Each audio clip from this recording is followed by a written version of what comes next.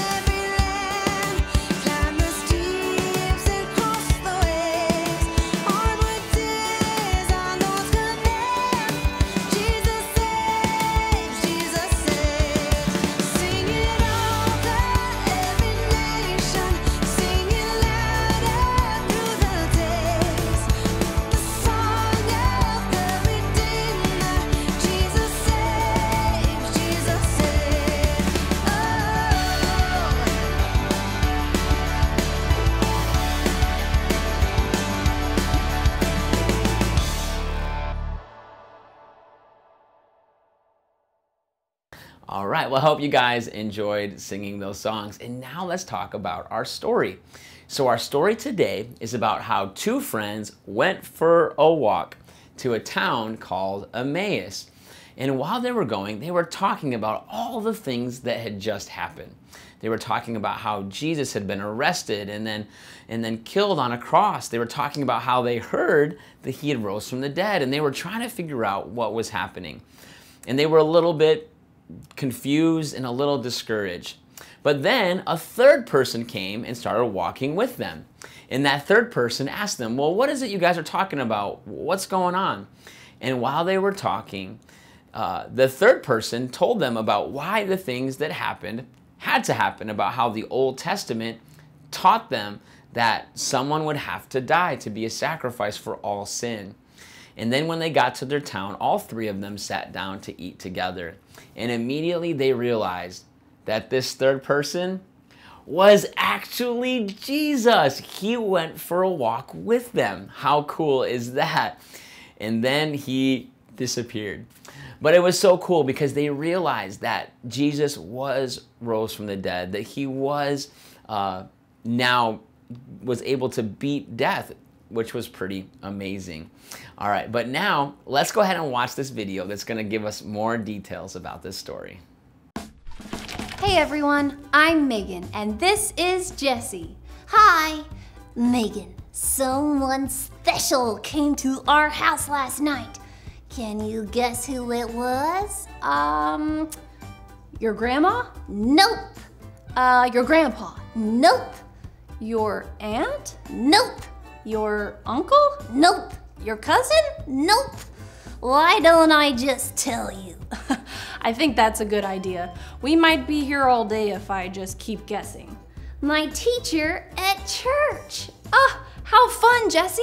Yeah, I left my Bible at church last week and she brought it to our house. We didn't know she was coming. How kind! In today's Bible story, Jesus' disciples had an unexpected visitor who was also very special. Listen to the story.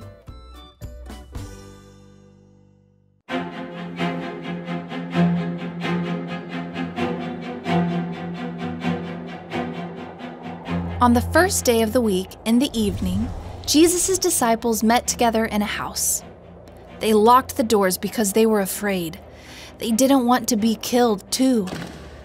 But now some of the disciples were saying they had seen Jesus alive. Could it be true?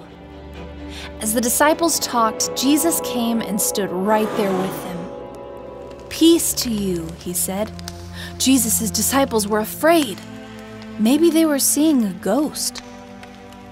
Look at me, Jesus said. Touch me. A ghost does not have skin and bones, but I do. Jesus showed them his hands and his side. They saw where Jesus had been hurt. Jesus was alive. What good news! The disciples were so happy. Jesus' disciples gave Jesus some fish to eat. Jesus talked to them and explained the Bible to them. The Bible is about me, Jesus said. Then Jesus told them that they had a job to do. Jesus had died and was raised from the dead so that people could be forgiven for their sins. Jesus' disciples needed to tell other people to turn away from sin and be forgiven. Jesus said, God sent me to earth. Now I am sending you. One of Jesus' disciples, Thomas, was not with the other disciples when Jesus visited them. Thomas did not believe that they saw him. I want to see and touch the holes in his hands and his side, or I will never believe, Thomas said. Eight days later, the disciples were together again. This time, Thomas was with them. Jesus came in and stood with them. Peace to you, Jesus said. Then Jesus told Thomas, Touch the marks on my hands and my side. I am alive. Believe it. Thomas did believe. My Lord and my God, he said. Jesus said, You believed because you saw me. Those who believe in me without seeing me are blessed. God made Jesus alive again. Jesus visited many people so they would know he is alive. Jesus is still alive today. We have not seen Jesus, but if we believe in him, we will be blessed. He wants us to tell others the good news about him. All right. Well, I hope you guys enjoyed uh, the story and seeing that, you know, the Old Testament, the New Testament was all pointing towards Jesus and the importance of Jesus. And that's why it's important that we know our Bible and we read it as often as we can. All right. Well, now let's go ahead and look at our big picture question. Our big picture question for today is Where is Jesus now? Jesus is in heaven. And the Bible tells us that when Jesus, after he rose from the dead, he appeared to the disciples for many days. He explained things to them and helped them understand what was happening. But then it says he went to heaven. And you know what he's doing up there? The Bible says he's actually sitting at the right hand of God, praying for us and, and trying to help us as we go through our day to day lives. All right, and now let's go ahead and look at our memory verse. Our memory verse for today is John 11 25. Jesus said, I am the resurrection and the life.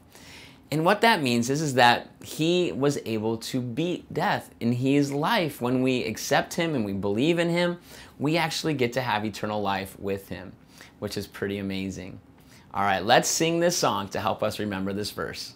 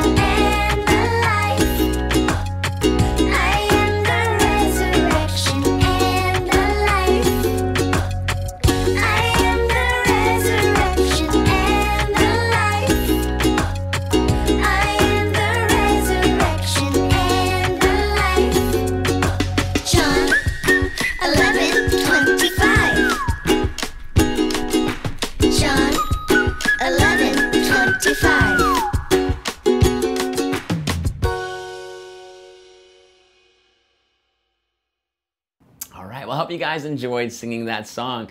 And now, uh, before we go, I wanted to just pray for you guys. Let's do that. Jesus, thank you for my friends watching this video today.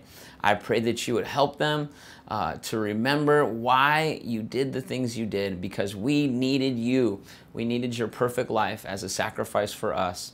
Help us to love you. Help us to, to worship you. All right, let's try that again. All right, well, I hope you guys enjoyed singing that song. I just love this story because it shows how much Jesus loves us. That even though they were having this conversation and they were confused, Jesus came and helped them understand. And when we're going through hard times, when we don't understand, Jesus will help us, you know, through reading the Bible or through the Holy Spirit inside of us, which is pretty cool. All right, and now let's go ahead and pray. Jesus, I thank you for my friends. Help us to walk with you every day. Help us to read our Bibles and to pray. Um, help us to know you. We love you and we thank you. In Jesus' name we pray. Amen. All right. Well, you guys, thanks so much for being with me today. Can't wait to see you guys next week. See you later. Bye bye.